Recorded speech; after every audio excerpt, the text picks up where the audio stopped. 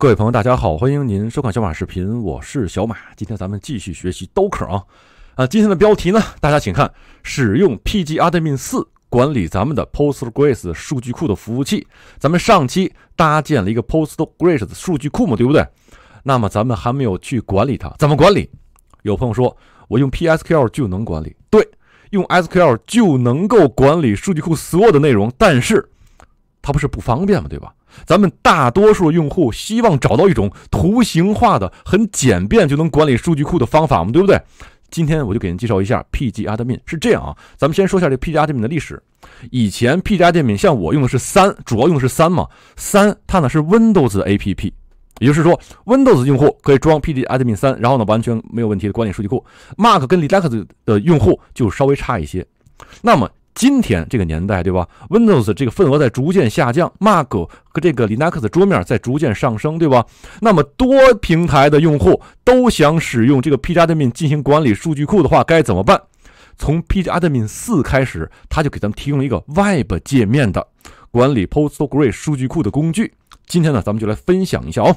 好，那咱们先看一下今天的知识点，就一个 pgadmin 四 Docker 镜像的基本使用。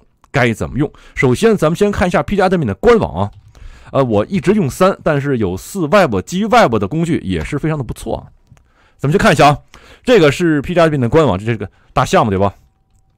然后大家请看，呃，二零一九年十二月十二日出了四幺六，这是最新版本啊。OK，这官网没什么可看的，咱们还回到咱们的课件。那么咱们要安装的话，从官网下载也可以，但是我推荐大家咱们使用 Docker 技术进行管理啊。Docker 技术最好的最好的地方在什么啊？就是说你不用在本机装各种各样这种非常杂乱的这个 APP，您只要装一个 Docker，然后今后任何的软件都是基于这个虚拟的技术进行安装，这样您的机器也会保也会非常的快嘛，对不对？好，Docker 技术的优点咱们就不在这儿赘述啊。好，咱们看一下这个。Docker 的官网 p 加 dm 四出来了吧？然后，但是注意一点，比较遗憾的是，这个 pgadmin 四并不是这个 Docker 官方认证的这个镜像，但是没关系，咱们可以使用嘛，对吧？哦，这是它的官网啊，通这通过这个命令可以安装。然后它最新的版本呢是刚才咱们看到的是四幺六嘛，对吧？OK，那咱们就进行安装。大家请看怎么安装？咱们用这个方法，用这条命令，把 Docker Hub 上最新的镜像，咱们先 download 到本地试一下。我这给您开一个窗口啊，用这个命令进行下载。因为我本地已经已经下载过，所以说它应该就不再下载才对啊。看一下哦，大家请看，说明我本地已经下载过了是吧？咱们打 doc，然后打 image ls 看一下，大家请看这个地方，我十年前就下载过了对吧？没问题。然后它的大小呢是二百七十三兆，稍微有一点点的大啊。OK，没关系。那咱们下载完了该怎么办？是这样啊。呃，大家请看，我下面这三行课件的内容是说，呃，下载一个 Postgres 九点六幺六的这么一个数据库，然后呢，建一个卷标，并且把它运行起来。这个在咱们本地是可以做的，对不对？呃，但是呢，我为了今天这个课件吧，我专门在我自己的本机，我准备了一台这个 Postgres 数据库，所以说这三行命令我就不执行了，好吧？那么怎么办？咱们直接去运行刚才咱们下载的这个 pgadmin 四，怎么运行？大家请看，就这行命令。这是最简化的命令，咱们看一下啊。呃，首先我要运行它，叫做 pgadmin 四，这是我给了一个实例名。然后呢，大家请看这个端口号的映射，我把这个容器里面，就是 pgadmin 四容器里面这个八零映射到我外面的这个八零八零。然后一会儿咱们通过这个八零八零本机 IP 就能够访问到它。然后呢，因为咱们是一开始刚运行嘛，那么需要对这个容器进行一个初期化。对吧？这个地方大家请看，我用了一个 rm，这个咱可以不用啊，这样来保证这个命令咱们执行完之后，这个容器的 container 不被删掉。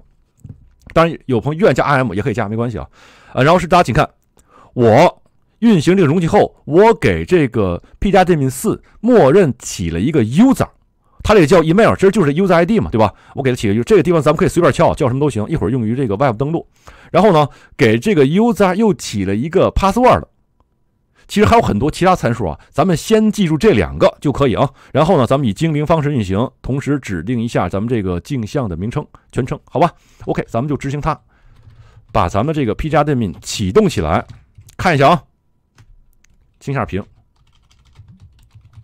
，Go，没问题吧？正在启动，启动起来，咱们看一下啊，Docker container ls，大家请看，已经启动起来了吧？这个名称叫这个。然后呢，它跟我本地做了一个八零八零的映射，没问题吧？然后怎么办？然后很简单。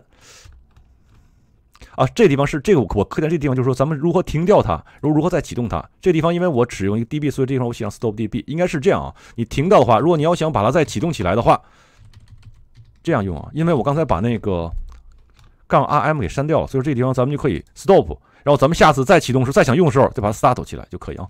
OK，没有问题。那咱们该怎么用？咱们在这个地方映射一个本地的八零八零，那么接下来咱们就去执行一下，马上开始啊。好，咱们在这地方怎么敲本地 IP，然后这儿敲八零八零，一回车，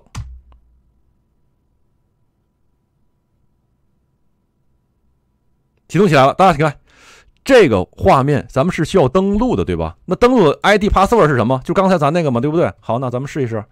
这地方咱可以随便敲啊，这样它会在容器初始化的时候就会给咱默认设上这个 user 跟 password，的咱们就可以登录。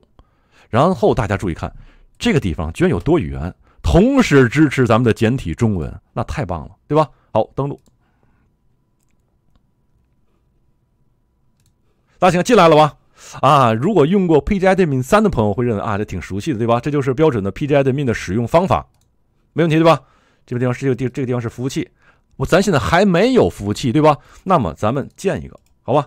创建服务器是这样，我本地建了一个，咱们试一试啊。我这个就叫做这个，我直接写写 IP 吧。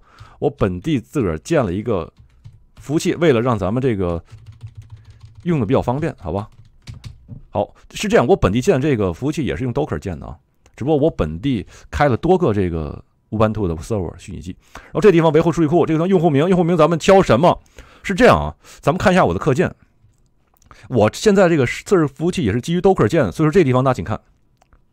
我的 user 就说我的这个 Postgres 这个超级用户的 user 是这个 DB user，没问题吧？然后口令是一二三四五六七八，没问题啊。OK，那咱们在这地方是需要敲 DB 的 user 啊，DB user，然后口令一二三四五六七八，是否保存？选择保存，这没有问题。